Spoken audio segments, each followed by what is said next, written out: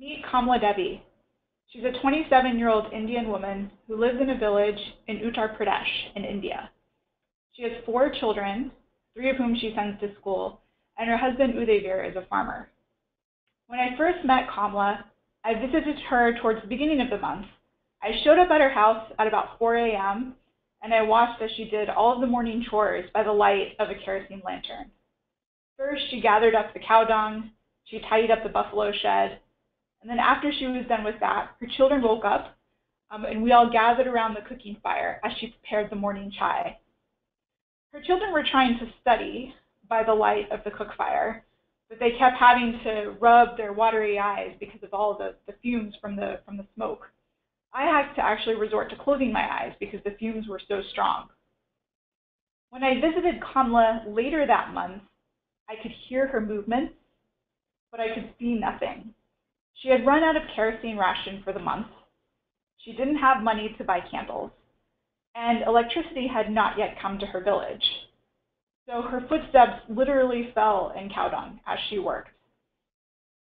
There are 2 billion people living in the dark like this every single day. Lighting can cost just 30% of a family's income, and almost half the population of Southeast Asia lives without electricity. So these are our customers. Our customers aspire for modernity, but they're lacking an option. So at D-Light, we provide affordable power and light solutions to underserved rural and semi-rural markets. We offer the latest in LED and solar technology. And most importantly, we design our products specifically for folks like Kamla in mind. We offer people like Kamla increased health, increased savings, access to education, and most importantly, a way to move into a brighter future. Okay, so just wanted to get the storytelling session started with an actual story. That's actually um, the first part of a pitch that I often used to give um, when I was trying to raise money for my social enterprise, for my startup, for D-Light. Um, and so I would first start with a story, um, and then I would lead into more details about the product. Um, so what I would normally ask is, okay, what do you think? Compelling, not compelling? Um, so just think about it for a moment. Now that I've told that story, just think, um, you know, did you think it was compelling? Did you think it was not compelling? Why, why not? Um, and then I'll tell you what usually most people say. Oh, so most um, most people do say, oh yeah, you know, very compelling, and so I'll ask why. And here are some things that, that come up, so see if this resonated with you. Um, so number one, I tell the story of a very specific person, right? So I tell the story of Kamla. Um, and I tell you a lot about her life. So I give a lot of detail about her life, her family, you know, how she lives, things like that. And so people say that concrete picture of one specific person um, really can, you know, it just it makes it interesting. It makes it compelling sticks in their mind. Um, it's a lot of striking images that I use, so very, very little text. Right? So these are, these are some things that come up. Um, another thing that people less often bring up, but sometimes they do notice, is that the fact that I speak in the first person. So I say things like, you know, when I first visited Kamla, um, you know, later when I visited Kamla, et cetera. Like I'm, I'm there in the scene. I had to resort to closing my eyes because the fumes were so strong. Um, and so that is that can be very useful because I'm automatically, um, you know, I, am I'm, I'm now not an expert of, of Kamla's experience, but I've been there. I know her quite well. Um, I know the details of it. I've spoken to this actual person and to this actual customer.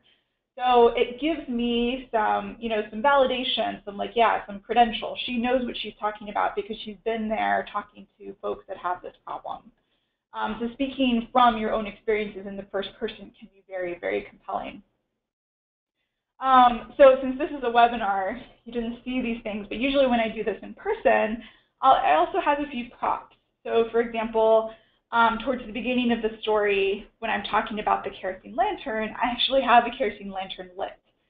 Um, in the middle of the story, when she runs out of kerosene ration, you know, I, I, I take a moment to pause, I blow out the, the, the flame from the kerosene lantern, Um, and then actually on this slide that I've left it on, I pull out the D-Light product and actually light it up. And so um, people can actually see what it is that my product is.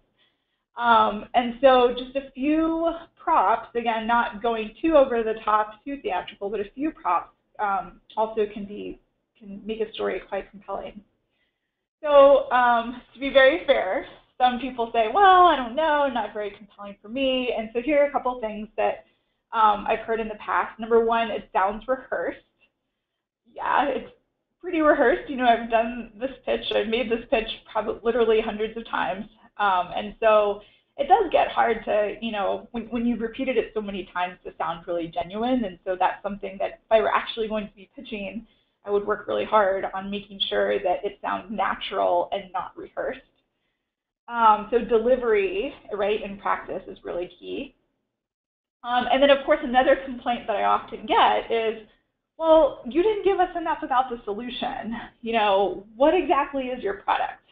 Um, and so what I usually respond is, well, you know, of course, this is not this is not my whole pitch. I wouldn't then just sit down and think, okay, I'm done. Um, but it is hopefully enough to give the audience a really quick background as to what exactly we're dealing with here, what specific, what specific problem I want to solve. And now here, let me show you some um, slides about how I'm going to solve this problem. And so then later I get into details about the product, um, details about you know our financials, who's going to pay for this, how much it cost, things like that. Um, but just starting with the hook to get them interested, using a story in that way can be quite can be quite compelling. Um, so Read already talked a lot about your, your project pitch um, and the logistics around it, so I'm not going to repeat any of that. Um, but during this webinar, we are going to be focused on, focusing on how you might use storytelling elements um, in your own pitch. Okay, so I'm not going to, I'm not really going to give you a formula about, you know, here's how exactly how you do it. Um, everybody's pitch will probably still look very different, but just be thinking about how can I apply some of these things to my own, you know, five to 10 minute um, pitch um, next month. So again, Read talked about this, the meat of the pitch, what they're really looking for, um, and questions that they're likely to ask. I'll point out a couple places during my webinar where I think, ooh, this method could really help with answering, you know, this specific piece um, about what they're looking for. So I'll try to remember to point those things out along the way.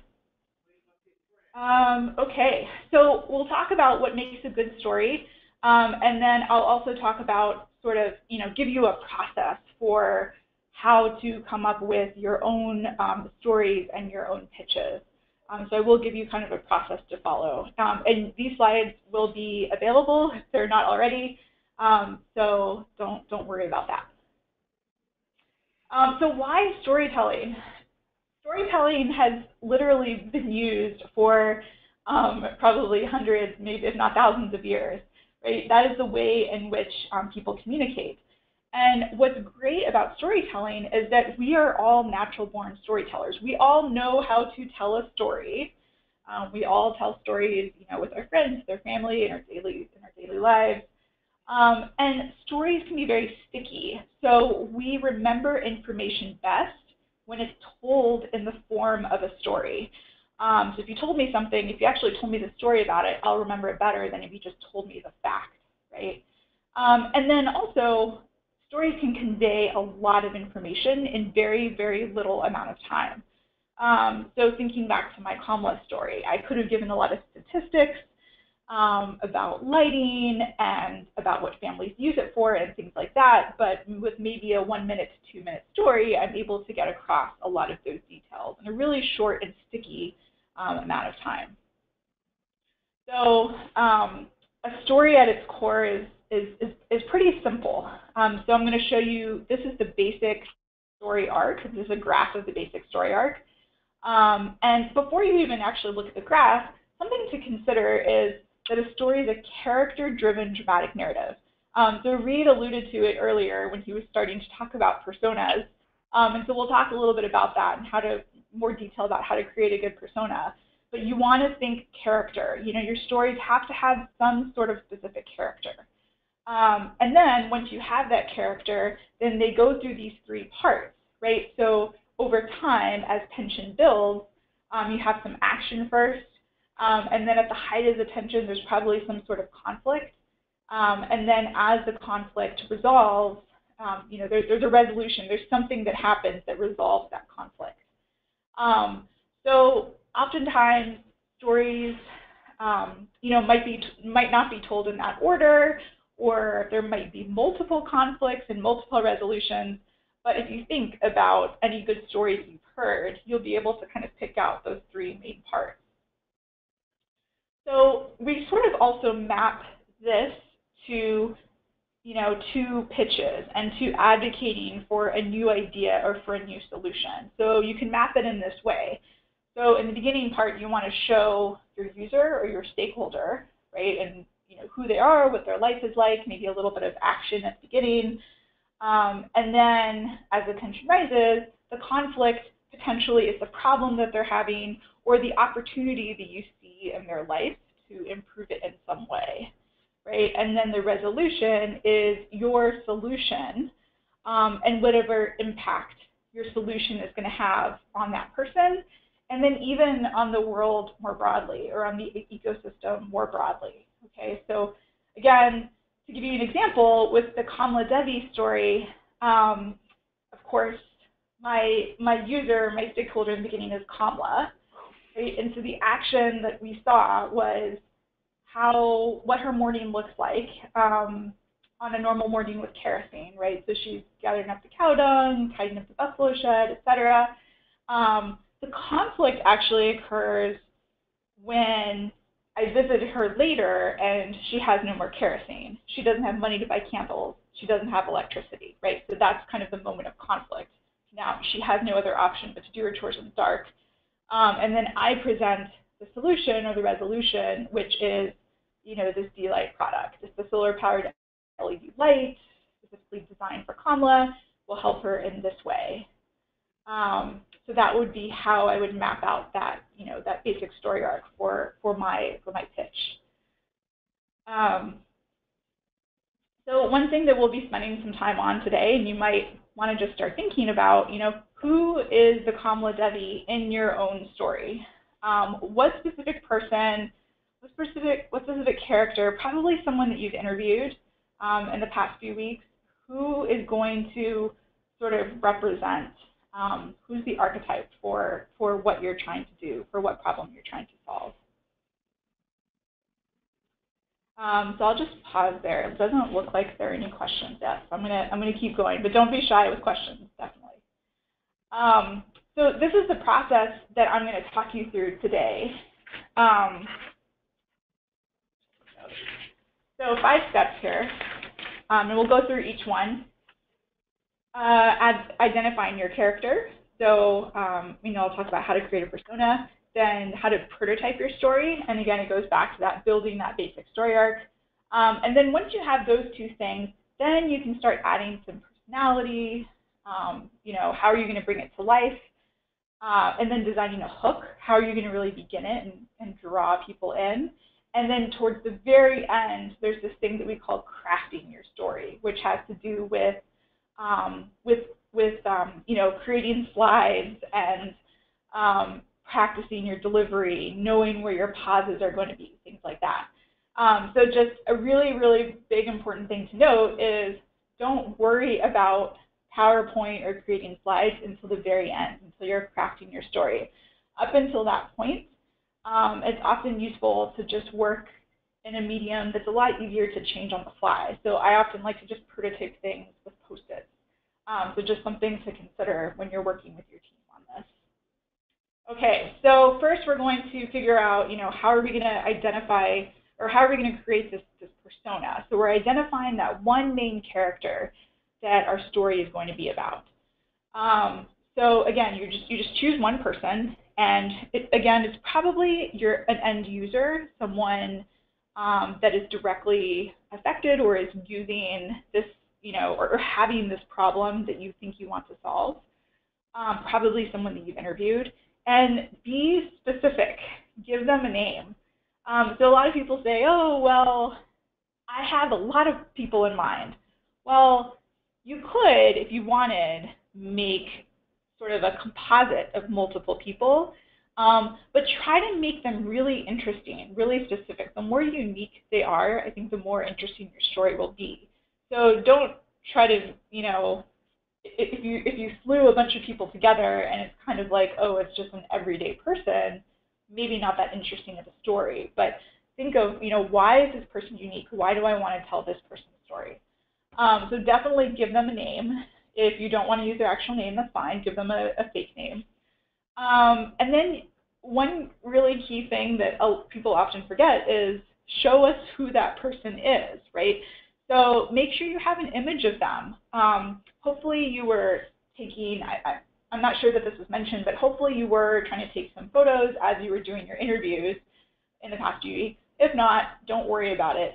But just know that in the future, it can be really, really helpful um, to have some nice photos of either the person that you're interviewing or maybe their environment, so their office, where they work, whatever, um, to, help you to communicate your story when you're presenting it to other people. Um, if you don't have a photo of them, it's totally fine. You can do a quick sketch, perhaps, um, or find one that's within, you know, that's tasteful um, on the internet. Um, but that's really key. Make sure you actually have a specific visual for them. You want to literally show us who they are. Um, and then you want to just write a profile for that person. So give them some um, bullet points of information to make them come alive. Um, so things like how old they are. Um, and don't worry about just sticking to, you know, their life at work, maybe even giving us a bigger picture of who they are and what they care about and what they believe. Um, juicy quotes, I don't have any here, but juicy quotes can be really, really useful to have, um, you know, in your in your persona or in your profile. Um, and then, of course, don't forget to add a few bullet points or detail about how specifically does the problem that you want to solve, how does it show up or manifest itself in this person's life? You know, give a really concrete example. So I gave the concrete example of, well, you know, she runs out of kerosene and then she's you know, walking in cow dung as she does the morning chores because she can't see anything. She doesn't have any other lighting options. So be, um, I think that's probably one of, one of the toughest things about creating this persona is being really specific. You could even give a specific instance of where this problem, um, you know, showed up in this person's life, right? And say, and you know, and that happens all the time, or you know, that sort of thing. Um, so again, if you if you don't have one specific person in mind, it's okay to create a composite, but just remember to be very detailed. Okay, so so we have you have your character, or hopefully you're thinking about who your character might be. Um, you've given them a little bit of a, of a background, a personality, um, a little bit of a, a scenario. Um, and so now you can start to prototype what your story might be. So I want to actually introduce to you two different story arcs. Um, and this sort of, um, this is because of, of what the pitch is asking you for. So I'll get to that in a moment. Um, but in order to think about which story arcs you want to use and when, um, we should also, it's really important to think about audience. Um, so for your story or your pitch, think about who is your audience. Um, and so I think Read told you that there's, there's going to be three panel members um, that are going to be listening to those pitches. And really think about, you know, what do they care about? Um, what is their environment or mood? So, for example, um, they will probably have just listened to 10 other, you know, uh, five to 10 minute pitches. So what, you know, really think about that. They're going to be, they might be tired. They might be, um, you know, overwhelmed, things like that. And so how are you then going to kind of get their attention and draw them in? So really think about these folks that you're, you're pitching to. Um, what do you want them to take away um, is really key. And um, in other words, you know, a, a great example that I always use with my students here is when they're they're, they're probably going to only remember like two or three key things about your presentation without looking at their notes. Um, and so what's the thing that they're going to go home that night and tell their partner over dinner about your presentation, right? So what are those one or two or three, maybe three maximum key things you want to get across? So for these first three questions, what's their mood? What do they care about? Um, what do you want them to take away? Those are all given to you um, by Read in that email that he sent um, a few days ago. So really dig into that. Um, he's giving you some great clues as to what you know what your story should be about, um, and that I think is going to help you decide you know which story arcs to include um, and when. So the last thing, of course, that a good pitch always has is some sort of call to action, right? So what do you want your audience to do? Um, and so in this case, you know, it's pretty obvious. Yeah, you want, you probably want to um, a spot in the Ignite Accelerator. Um, but maybe go beyond that, you know, because what is it that you want to do next? What is it that you need to get answered? Or you need a little time, or you need a little more help or something. Um, you know, if you were to get into the accelerator, what are the what are the activities you're going to be doing to move this project along? Um, so think about maybe you know how you can include that in your story as well. So back to these two story arcs. Um, we'll start with this first with the user-centered story arc. So it looks like this. Um, and again, um, I we have a, a, a, PDF of just this slide that you could print out um, and literally with your team, you know, map out on four post-its um, a really basic story arc. Um, and so that's how I imagine this template being used. So, and I'll, I'll show you that through an example. So first of all, of course, your user, who are they, what do they want, right? Give us some character action. So our user is, you know, Kamala Devi or whatever it is, refer back to your persona. Um, and then what's that conflict? What's that need? So our user needs blank, or this is missing from their life. Um, your solution, so we will provide. Um, and the thing I want to point out here is I know probably most of you um, don't have a, oh, and definitely this is the solution quite yet, right? So you're probably not quite there yet, but you might have a hunch as to what might be the solution or multiple hunches. We think it could be this, this, or this. So, you know, you might say that. We, we think that this might be a great, you know, answer to their problem, um, which is what we want to test in, during the Ignite Accelerator, et cetera, et cetera. Um, and then the resolution, you know, what, what impact is this going to have? And I think the really key thing here is you got to end your story by bringing the character back into it, right? So what impact is your solution going to have on Kamala Devi or on that specific person. Um, but also more broadly, right, on, like I said before, on the greater ecosystem, um, what impact is this going to have? And so I did that, I think, towards the beginning in my story. I talked about, you know, there are, uh, it's really 1.2 billion people out there just like Kamala living like this every day. So that kind of um, points out, you know, this, this, could, this could be a product that affects the world much more broadly. Um, so how are you going to talk about impact? So this is the user-centered story arc. Um, and then the second story arc that you might consider um, is the what we learned story arc. And so I just want to say that this is probably not an either or thing. Um, you can include both, you can mix them up, you can have multiple what we learned story arcs. Um, so I'll talk about that more in a, in a moment. But don't don't feel like, oh my gosh, I have to pick one. You might use both and incorporate them both in your pitch in some way. Okay, so the what we learned story arc. Um, this is great for um, highlighting perhaps something something that you learned, something um, that was a really big key discovery. Maybe it was a key, it was a key pivot, um, but it'll it'll become a little more clear once I once I walk through it. So the first piece is again you're starting off low on that tension, right? So it's that original assumption. Well, you know, we were we were just working as our as a team, and our original hypothesis was X. You know, we thought that maybe it's something like this. We thought that um, the problem was this, um, and so then What conflict happens? What's the experiment you do? So went out and we started talking to a bunch of people, and actually what they were saying was XYZ, right? So, so we tried, you know, talking to a lot of people about this problem, validating this problem, and what we found was actually this, right? So, oh my goodness, we thought it was this, but it's actually might be something else. Okay, so now bring us home with the with the resolution.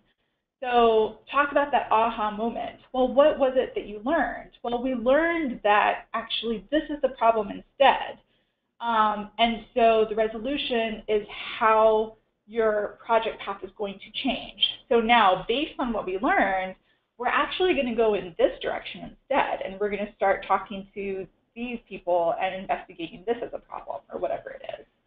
Um, so again, I'm I'm I'm sure that they probably um, last month Dean and Edmund probably talked about um, you know pivots or just you know validating or invalidating some um, value propositions that your customer segments might have. And so this is a great story arc to show you know some of those big discoveries you've made so far in your customer discovery process. Um, so again, just to point out, you know, this is exactly what Read is asking for. Who did you interview and why? What did you learn? Um, but telling it in the form of a story is going to be much more compelling, much more interesting, um, and much more memorable than just listing the folks that you talked to and the things that you learned. So give us a specific anecdote, anecdote perhaps, of, about you know who you talked to, what that moment was like for you. Okay, so I'm going to pause there. Read, do we have any questions?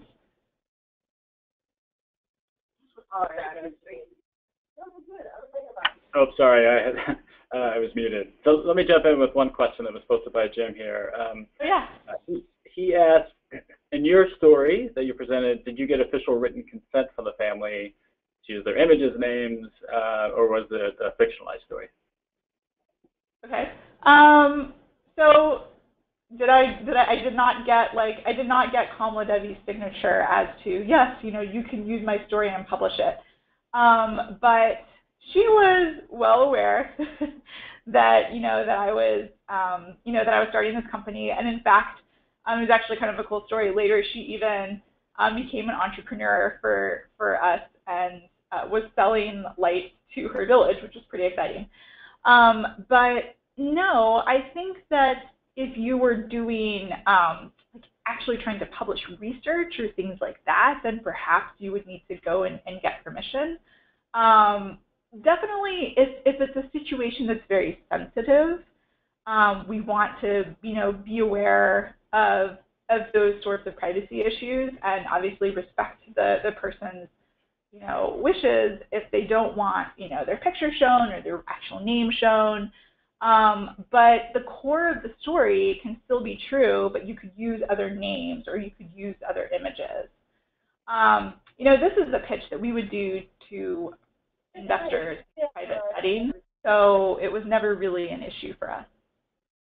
a related question, it often comes up, you know, should we use we be using real names like Kamala Devi or um, you know, and the persona that, that I had up in the slides is like um, Sally salesman, Sally saleswoman, you know, something like that. Do, do you have, does that matter too much? Um, you know, some people have sort of opinions on, on that. I don't know that I've, I've heard that in the past. So I don't what you think. Yeah, I don't know. It hasn't it hasn't really been an issue um, for me. Um, I like using the real names when I can.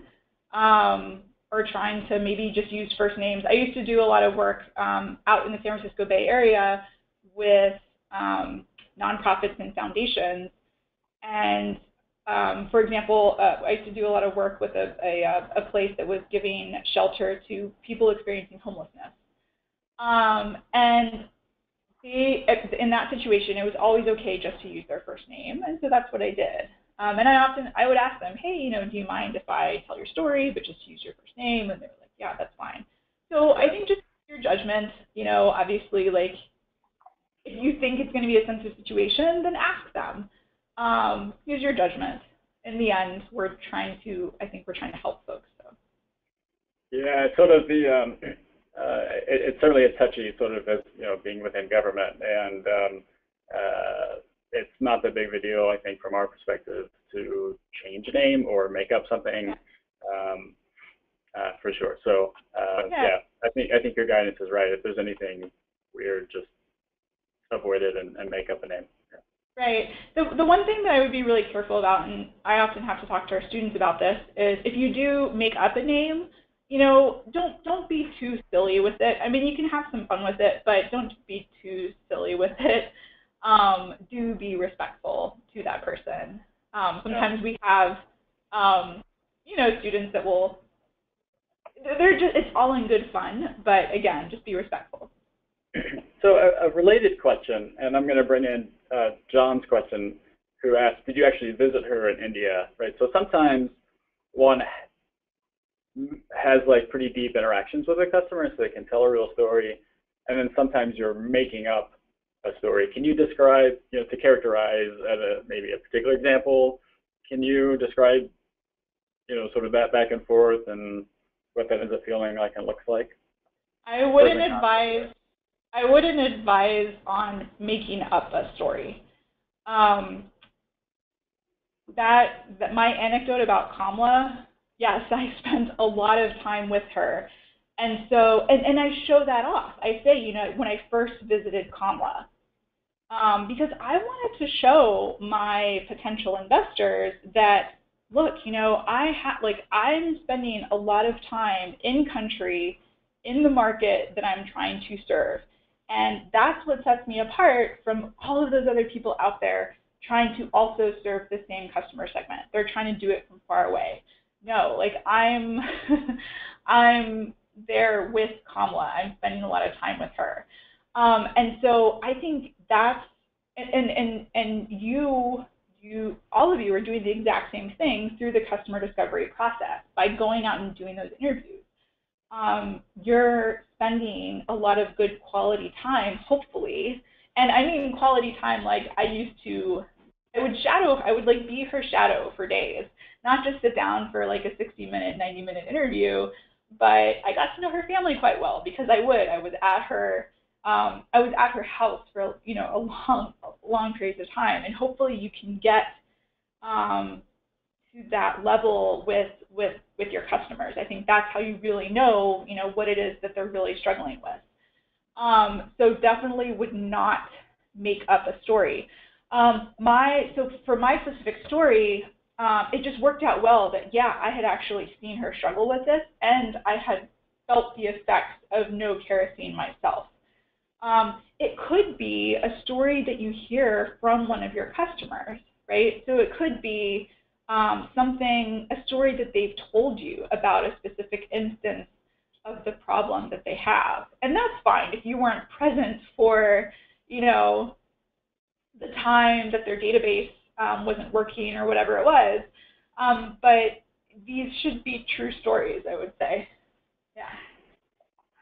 Does that help? Yeah, interesting. Um, so, so one thing that's probably uh, to your disadvantage, because uh, uh, we're encouraging during the discovery phase to just focus on the interviews, and we haven't uh, quite introduced or pushed people to do like in-person observations, sort of shadowing and things like that. Um, those things we would probably get to, I think, in Accelerator itself. So it sounds like uh, the principles are the same. Um, yeah. you know, getting to know people through the conversations, um, and and trying to glean stories from them would be uh, could be pretty useful as well. Right. So your your best interviews are the ones where you've actually gotten them to tell you a story about a specific instance. Yeah. Um, if your if your interviews are like, oh, what do you usually do, or what generally is the problem with the workflow process, um, try to go back to them and say, no, tell me tell me about a time where this is a big problem for you. Get really specific. The best interviews are the ones where you're getting um, you're getting little anecdotes, you're getting stories from people. Yeah, so, so Lewis posted a question uh, building on this, and you had this really neat transition in your presentation where you go from Kamla sort of out to the world. Um, yeah. Uh, that sounds like a pretty neat technique um, that, that maybe you could highlight a little bit. Uh, are there any other, so like how does that play into to selling the whole story. So again, that goes back to the impact, right? And so on the very last, um, let me try to go back here. On the very last piece of the user-centered story arc, um, it's it's about the outcome and the impact. What is the outcome, or and or what is the impact? So um, I I did that in a little bit of a sneaky way. I brought it up out of order, right? So first I introduced Kamla, then I introduce this problem that she has and this conflict that she has, and then I say there are a lot of people out there, you know, there are 1.2 billion people out there like, you know, out in the world like like Kamla. Um, and so I don't explicitly say in the end, and therefore we are, you know, we're going to um, provide a lighting option for these 1.2 billion people. Um, but I think that's sort of alluded to.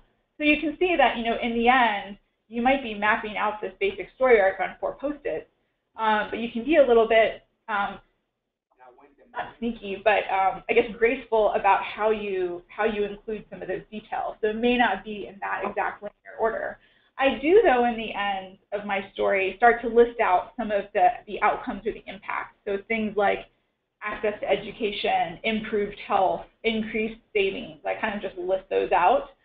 Um, and then later in my full pitch, um, we have some we had some data as to some estimates to, to give some number concrete numbers to those things because some of our potential investors were interested in that. Um, but any way that you can kind of show impact, and again, it's really important. Don't forget about the impact on this character that you've just set up for us. I often see that in pitches.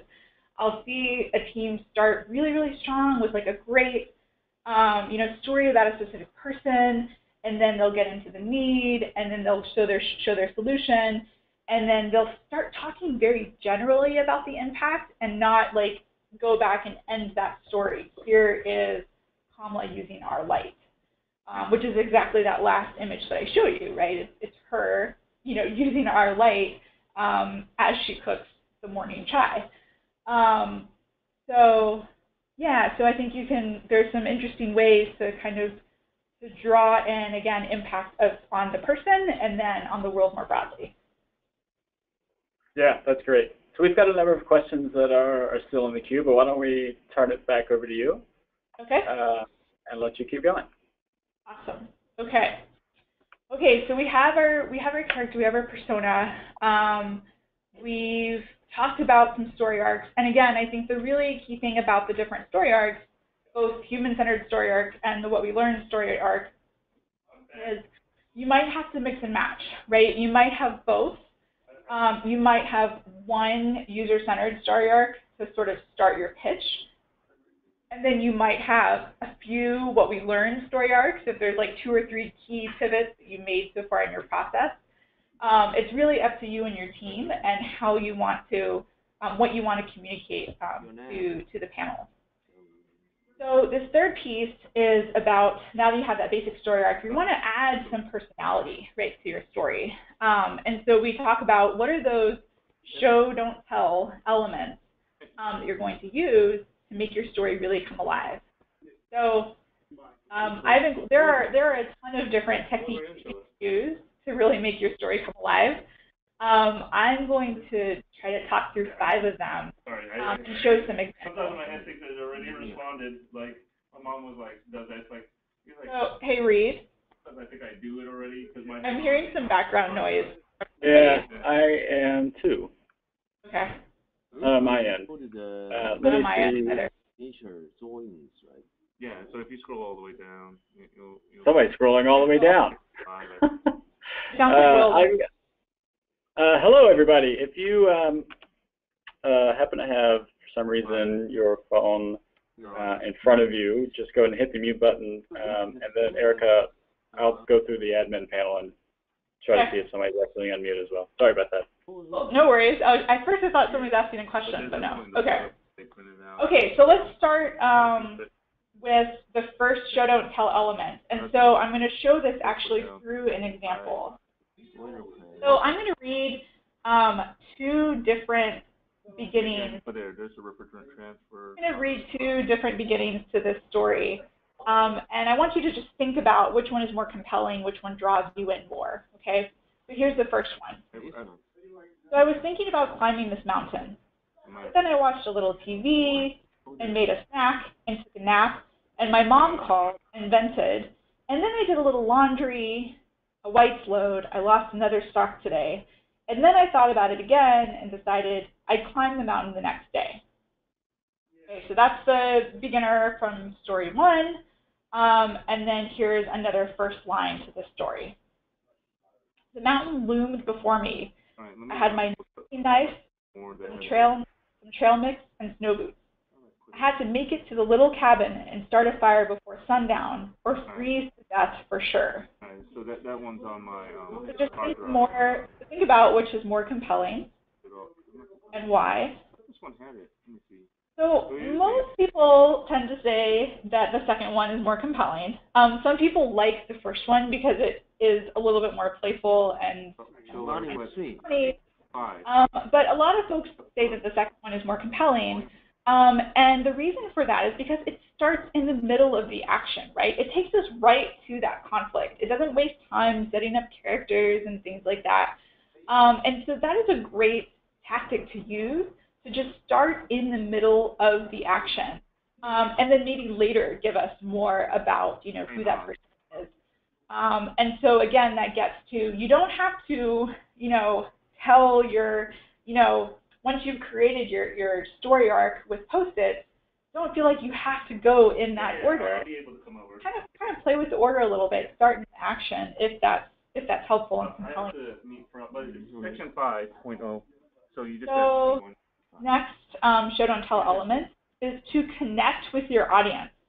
Um, so I'm not going to play this TED Talk, but I highly recommend if you have never seen um, Jill uh, Bolte Taylor's Stroke of Insight TED Talk, um, definitely check it out. Um, and there's there's some really interesting things that she does to really connect with her audience. So um, Dr. Taylor actually studies the brain. Um, she's an expert on the human brain.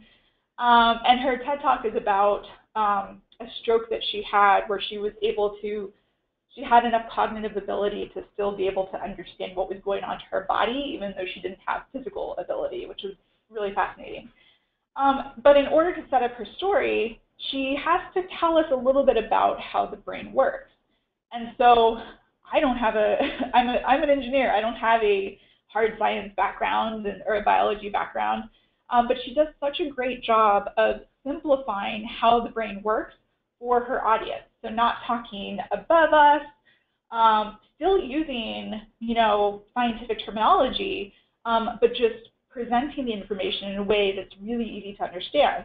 And so I was listening to her talk, and I, and I picked out a few key things that she does um, that might be interesting for you to consider with your own talks, especially if um, the topic that you're dealing with is maybe very scientific or just very complex given where you are, um, you know, in, in the department.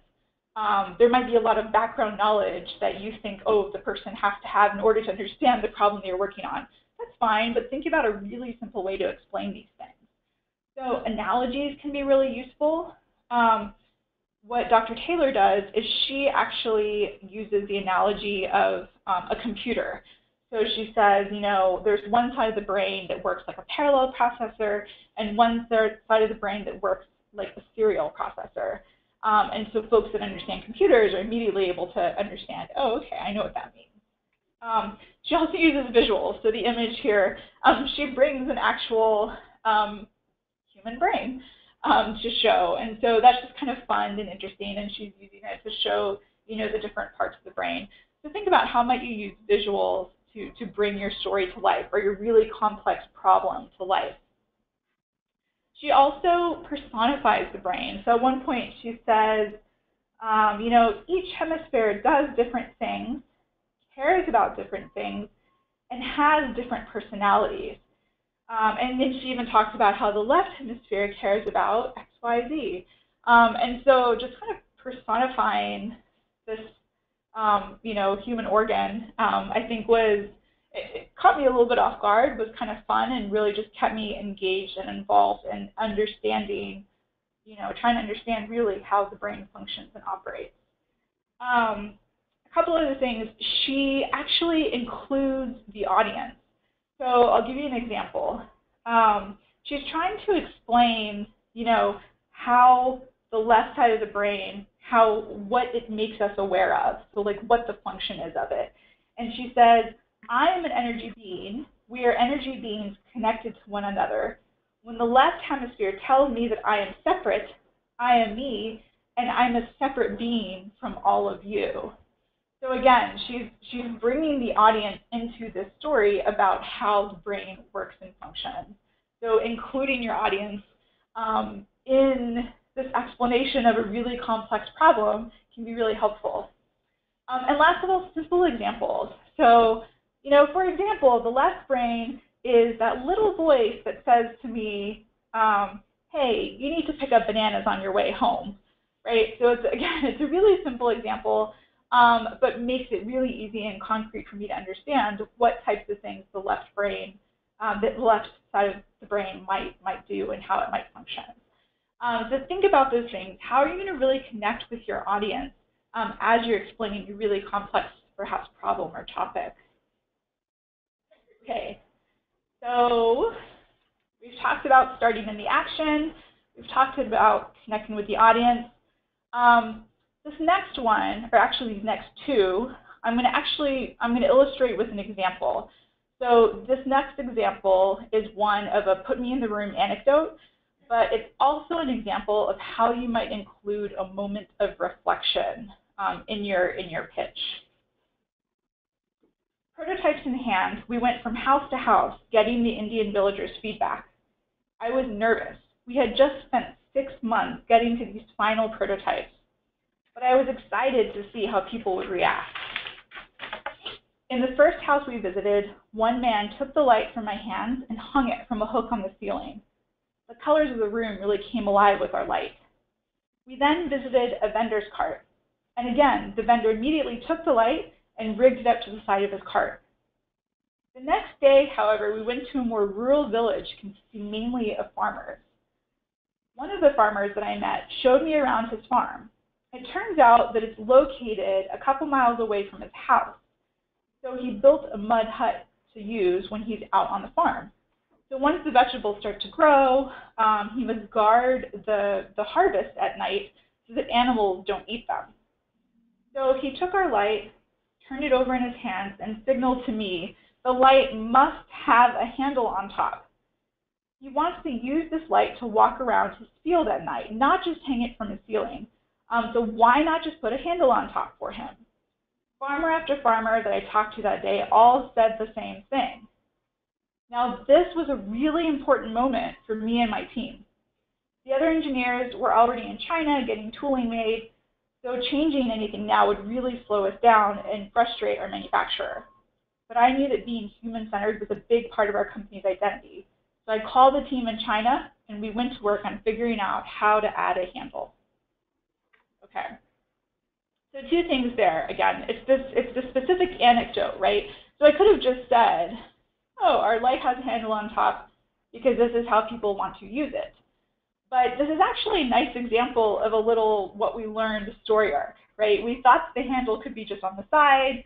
We went out, we started showing it to people, and some people liked that, but this one guy said, no, it needs to be on the top because here's why. Um, and so therefore, you know, we didn't know what to do. We had this conflict. It's going to slow us down. Um, but then the resolution as well, we decided this is really important for us. And so we want to be human-centered. We want to listen to our customers. And so we're changing our direction and going this way instead. Um, so it's also a nice example of a what we learned story arc. Um, and the moment of reflection actually comes when I say, but this is a really important moment for me and my team. So don't be afraid to say things like that, um, especially if your pitch is running towards like the 10 minute side. You're going to want to clue people into when they should really listen to you, when they should really be paying attention. You're about, I'm about to say something important, so listen up here.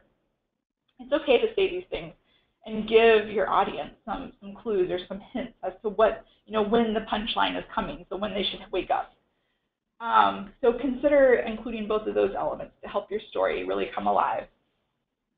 And then the last thing um, that I'm going to talk about, there, again, there's so many other things. The last thing that I'll talk about in terms of show, don't tell elements are including artifacts. Um, so you might not have, you know, photos of uh, or sketches of your product, but maybe sketches of whiteboards that you've, um, you know, done with your team, or um, you know, maybe you've started to take some of that interview data and find some patterns, and you have some post-its in your office, you know, that you are starting to put together all of the different facts or something. Take pictures of that. Show show off your work. Um, maybe it's a video to illustrate the problem. So we often used to play um, this video of a battery being recycled during our pitch, you know, to show what a what a dangerous process it is. It's folks are touching battery acid and lead plates with their bare hands in order to recycle these batteries. Um, and so think about other artifacts, other things that you might use um, in your in your during your pitch to really show and not tell you know each piece of your story. Um, key thing here, if you're using video, definitely rehearse. Um, even if you rehearse, it probably won't go well, but sometimes they can be uh, quite powerful. Okay, any questions there? I know that that was big section of info. We just have two more, two more steps in the process. Um, I'll keep going. I'm not seeing anything. Um, okay, so after you, you know, you have some personality that you're adding to your story, um, how do you get folks to listen in the first place? Um, so you want to really think about how your how your pitch is going to begin. You know, hopefully you're not starting with, "Hi, we're such and such team." I know um, Read is asking you for a, a slide with a list of your team members you don't necessarily have to start with that, right? Maybe hook the audience in first. Um, it depends on what you know what works for your team and for your pitch. Um, and so uh, TED Talks are notorious for having sort of a formula, um, but they have some interesting first lines. And so what a colleague of mine did was he um, he strung together four sort of openers to four different TED Talks. And so I want you to just listen to these these starts to their stories and just see which you think is most um, most enticing, the one that you really want to go home and like finish watching the rest of the talk. So I'm going to try to play this video. Um, Read, will you let me know if the sound is not, if the volume's not high enough? Yeah, sure.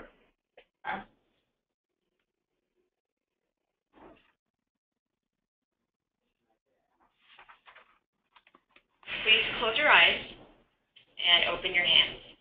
Sounds good. Now imagine what you could place in your hands. An apple, maybe your wallet. Now open your eyes. What about a life? It's the Second World War, a German prison camp, and this man, Archie Cochrane, is a prisoner of war and a doctor, and he has a problem. I need to make a confession at the outset here. Uh, a little over 20 years ago, uh, I did something that I regret, something that I'm not particularly proud of, something that in many ways I wish no one would ever know, but that here I feel kind of obliged to reveal.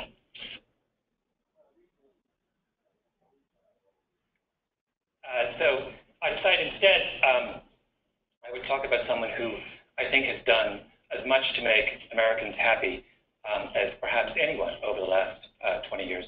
A man who is a, a great personal hero of mine, um, someone by the name of Howard Moskowitz, who is most famous for reinventing spaghetti sauce. Okay.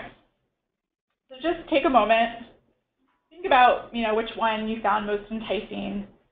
Um, so in in previous times where I've presented this, most people really like the Daniel Pink story, and so they want to hear his confession.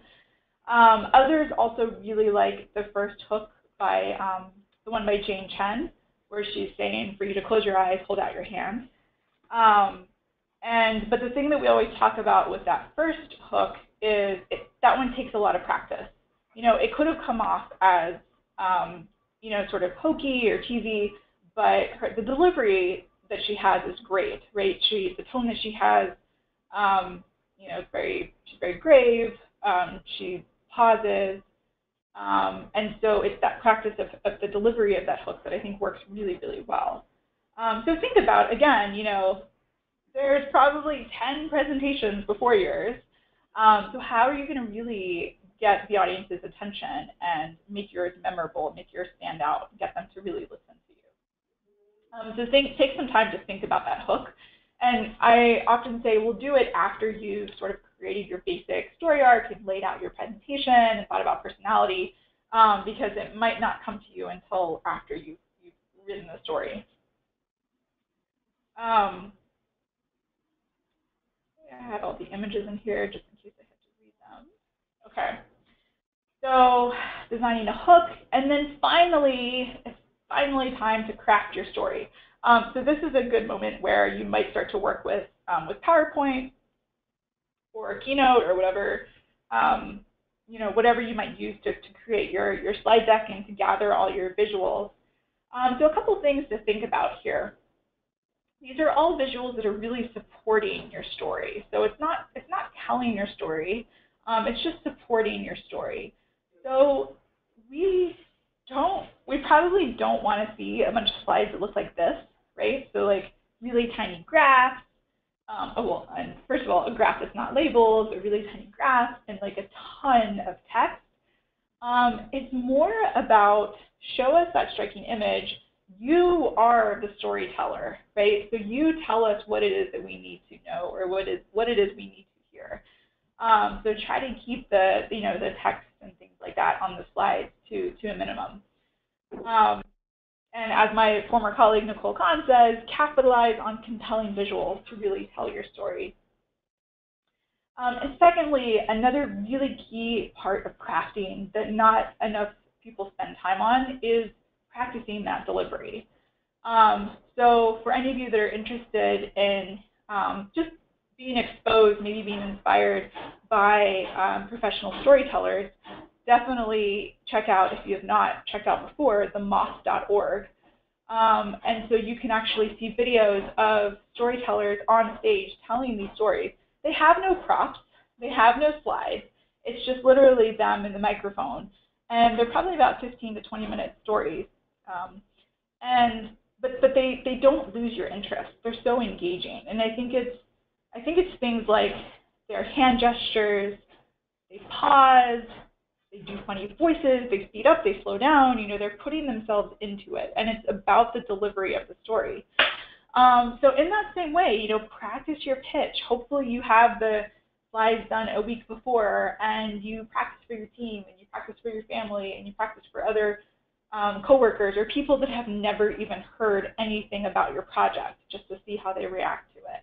Um, so don't forget to build in um, time for, for that. We'll be able to really tell, you know, who's, who's rehearsed and who hasn't. Um, so just to, to wrap up or just to sort of summarize what we've gone over so far, um, you might think about, you know, how are you going to use storytelling to communicate your project or to advocate for your project? um, you know, to get a space in the, in the accelerator. Um, keep in mind that stories are character driven. So think about who is your Kamala Devi, who's the person that you're going to talk about um, in your pitch. Um, stories have three parts, the action, conflict, and resolution. And so make sure that you're presenting your story arcs in a way where those are all evident, those are all present, um, and a process, so here's a, you know, a process to follow um, as you create your story. First, think about your character. So build that persona with your team, be specific, have fun with it, be specific. Um, then you can think about your story arcs. So are we going to use both story arcs, the, the what we learned and the, the user-centered one? Are we going to just use one of them? Maybe we're going to have multiple, things like that. So put a basic structure down using only post-its Um, and then you can start to add some personality. So we talked about a bunch of different elements today. Um, and then last of all, don't forget to think about, you know, how you're going to begin your story. What's that opening line that's going to grab people's attention? Um, and then, of course, leave time, hopefully at least a week, to craft it. So to think about those the supporting visuals um, and also the delivery. Um, so questions, comments. I'm happy to answer any questions. Erica, that was that was excellent. Uh, thank you so much for, for your time. It was um, Yeah. really really well organized. um, I, I guess the first question I pull up, and we we've just got a couple in here, um, is posted by Lewis. Um, uh, he says he's more familiar with the quote bottom line up front. Uh, sorry, bottom line up front uh, pitch style. I so I may be talking about what we learned first and explain what happened, which is slightly opposite. It sounds like to the storytelling. Uh, for the pitch, would you recommend sticking with the storytelling style? Uh, I'm I'm not familiar with that phrase, bottom line up front. Uh, so I don't know if that means it resonates with you at all, Erica. I, I would I mean I've heard pitches where it's like we are we are X company and we're going to change the world in this way. Here, let me tell you how. Um, I'm thinking about like maybe that sort of um, pitch that I've I've heard in the past. Um, I think that's fine. I think you can still incorporate storytelling elements. You know, when you go back to now, let me tell you how we got here or how we're going to do this. I think you can still use storytelling elements um, throughout, you know, throughout a bottom line up pitch. That makes sense. Yeah, yeah. I think at the highest level, and this is what you started your whole presentation with, is that uh, it sounds like you're presenting these as, as sort of tools and options for folks to consider using, and how they actually incorporate them um, could be up to them. Is that a fair? Yeah, exactly, exactly. And and don't feel like you know you have to use the formula of start with user-centered story and then do this and this and this. Um, we don't. We're trying not to prescribe a formula, but maybe put a user-centered story somewhere in your your pitch. Yeah, the other thing that we've seen quite a bit with uh, with with pitches to get into Ignite and even at the end uh, is that there are so many different types of of projects. Um, Most of the examples that we end up using because they're the easiest to hold on to are product-oriented uh, pitches where it's like I have a product that's going to easily solve this particular need, and sometimes you know that physical product is not actually what you guys are working on within Ignite. Um, if you're streamlining a process, for example, you really want to like modernize a particular um, internal system or internal process, uh, then you know the the story might be a little bit different. Um, and uh, and then if you are actually delivering a service, you know, then it's still a product of a sense, but you're delivering some sort of service out to the people. You know, that has a little different flavor. So it, it's hard for us to actually speak in broad sweeping strokes, and um, we trust you all as like super smart adults to uh, you know to figure out like what's the best way to incorporate these. Uh, yeah. Uh, apparently, according to Andy Burton, uh, BLUF bottom line up front is very common. So I'll Google that after this uh, to be sure that I'm caught up on everything. Yeah, Uh, I would, okay, I would just, so- just to add to that, I would just be very careful about, um, like formulas in general.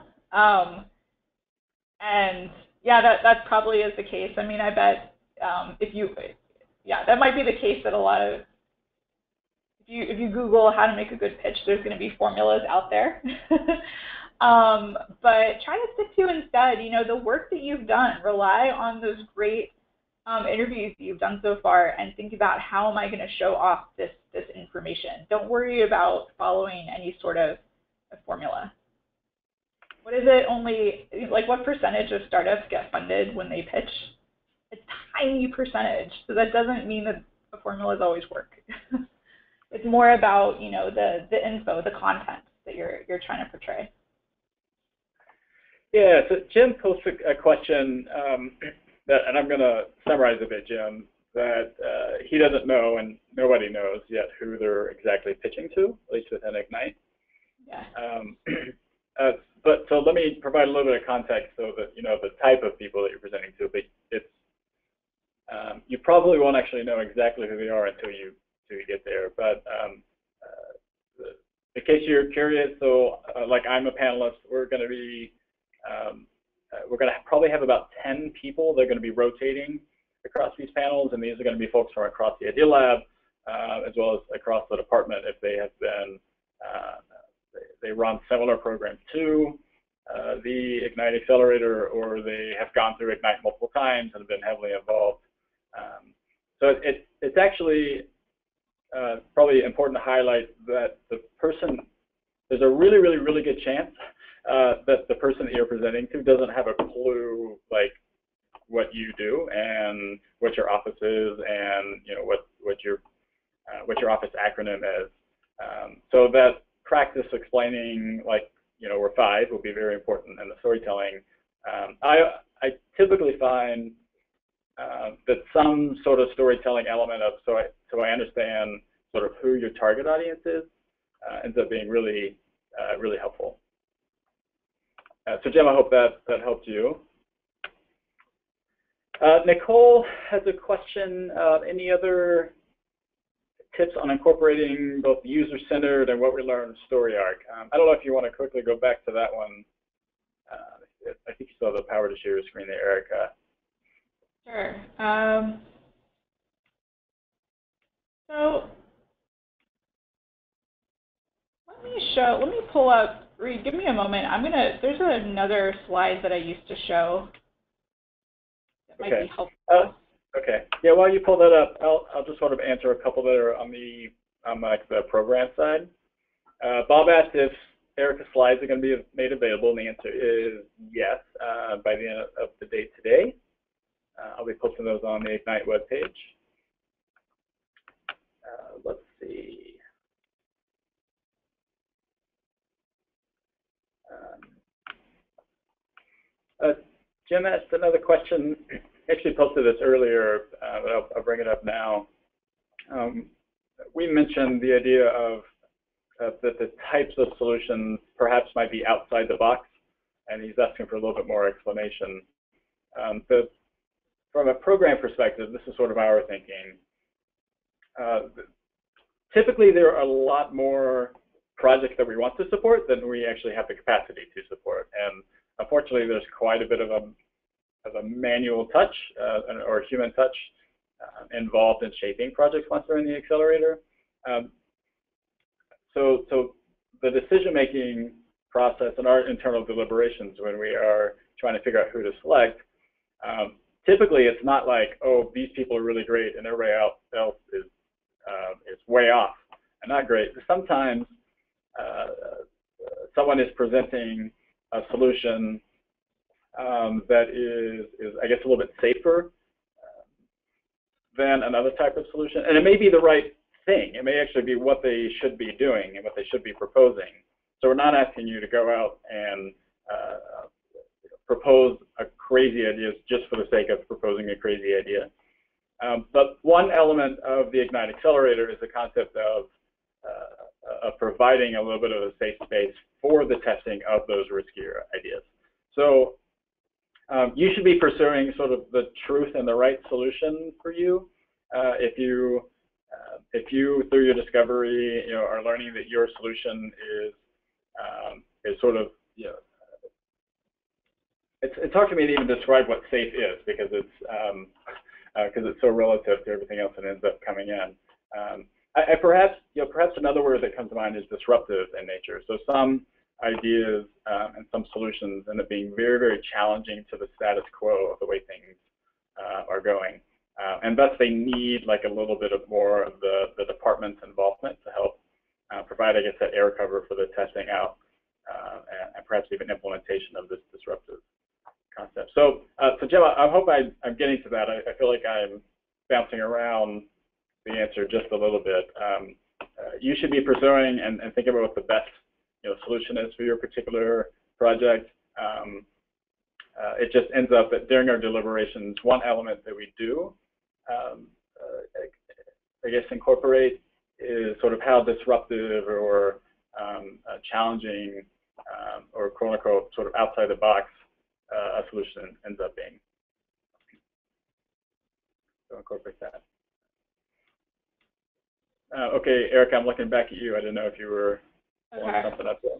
Yeah, let me, I was trying to find a more recent example, but let me just show this really old slide.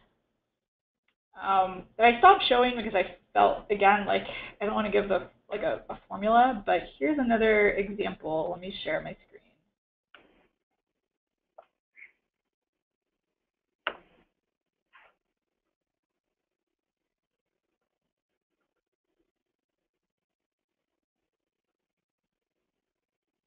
Okay, um, are you seeing story, example outline three, the nested story? Okay, cool. So, um, so for example, you know, you could, it could be a bunch of stories within a longer story. So you might start with, um, you know, here's where our team started, um, and do a couple of what we learned story arcs. So, Um, Erica, I'm just going to interrupt very quickly, just only because we see like your editor view, not the presentation view. If you're yeah, that's the only, let's see, let me which try. is, which is fine if that's what you're doing. I just wanted to be sure you knew.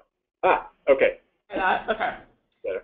Um, so it could be the case that you have, you know, multiple what we, so you could literally start with, you know, here's, here's the first key thing we learned, here's one little mini what we learned story arc, here's another key thing we learned, here's another, you know, mini key story arc, um, and, and then like move into your user-centered story arc of, okay, and this is, and finally here's the last turning point, so here's what we're, here's who we're going after, here's what we're, um, here's the problem we're trying to solve, etc. Um, so again, this is not, this is not a great slide, this is not a great example, but um, you can think about different ways to, um, you know, you might start with the beginning of this project and take us through a couple key turning points in your customer discovery process so far, and then in the end, you know, tell us, okay, what, who you're really focusing on, et cetera. Or you could, I guess it's the bottom line up front style, where it's like, no, you're going to present Kamala first, her problem, the solution, and then take us back to, okay, how you got there. Here are three turning points that we had, you know, along the way in our customer discovery process. Um, so I think those are both, those are two examples, right, of how you might incorporate both story arcs, if that's helpful. Uh, great, Nicole. Uh, hopefully that helped you out there.